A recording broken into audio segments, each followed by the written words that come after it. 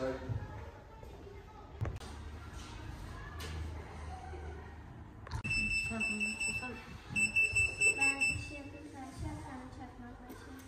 喜欢，吃饭。上。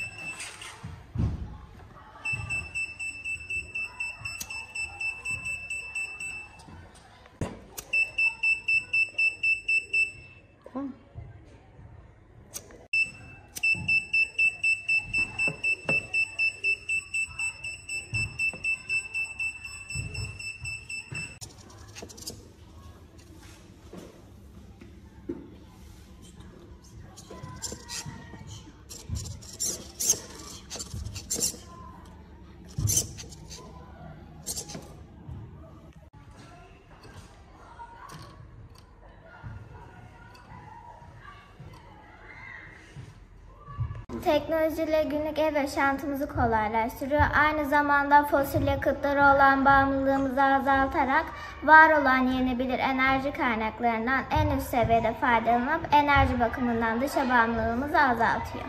23 Kasım'da şehrimizde büyük bir deprem oldu. Depremden sonra öğretmenimize akıllı projemize bir tane deprem sensörü yerleştirebilir miyiz diye sorduk. Öğretmenimiz çok olumlu buldu ve yapabilirsiniz dedi. Biz de e, akıllı projemize bir tane ak şey deprem sensörü yerleştirdik. Güneş panelinde 4 adet LDR direnç kullandık. Bu dirençlerin arasına artı şeklinde bir aparat koyduk. Güneş örneğin sol taraftan geldiğinde sağ taraftaki LDR, LDR dirençler kendilerini güneşin konumuna göre ayarlayabiliyor. Tüm LDR dirençler gölgeden kurtulduğunda bütün sarı motorlar duruyor.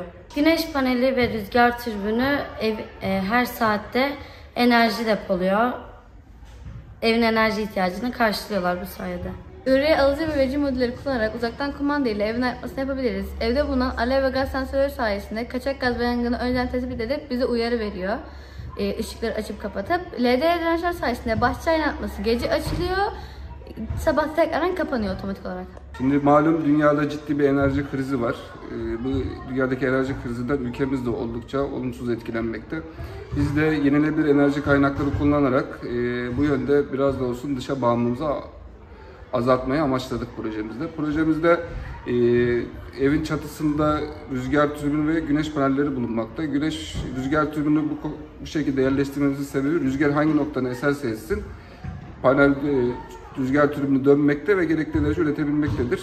Güneş panelleri yaptığımız araştırmalara göre güneş ışının dik ve dike yakın açılarda geldiği zaman maksimum enerji üretebilmekte. E, malum dünyada kendi ekseni etrafında döndüğü için bu açıyı günde birkaç saat yakalayabiliyoruz.